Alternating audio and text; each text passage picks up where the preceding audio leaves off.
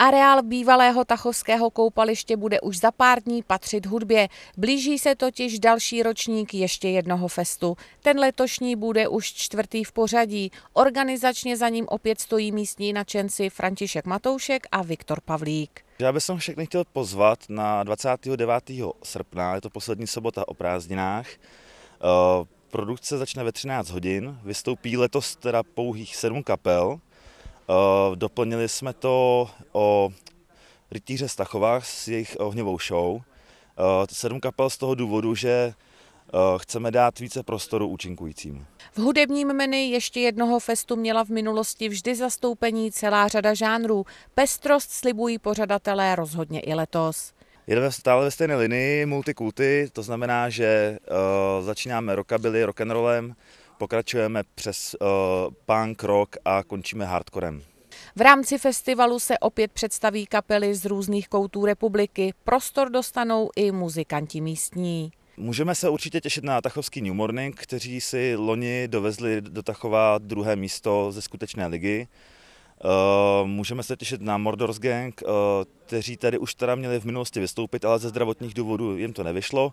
Z dalšího programu zmiňme například plzeňskou znouzecnost, Vision Days nebo formaci Skywalker. Premiérově akci zpestří svým vystoupením už zmínění rytíři Stachová. Je to něco nového pro náš festival, snažíme se to stále zlepšovat. Určitě jsou srdečně zváni i rodiny s dětmi, pro ně opět bude připraven eh, skákací hrad a hromada sněhu.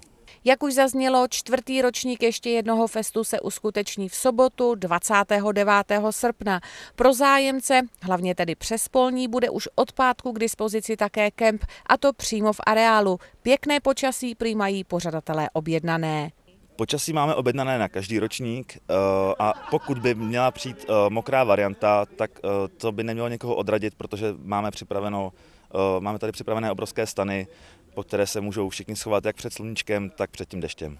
Festival ale nebude jen o muzice. Už po třetí je jeho součástí také takzvaná jízda garážových jezdců. Pro účastníky bude připravena zhruba 40-kilometrová trasa se třemi kontrolními stanovišti. Změnili jsme ji teda oproti minulým roku, trošku jsme ji protáhli, udělali jsme ji takovou zajímavější a v podstatě, jak jsem řekl na začátku, je to sranda mač, že?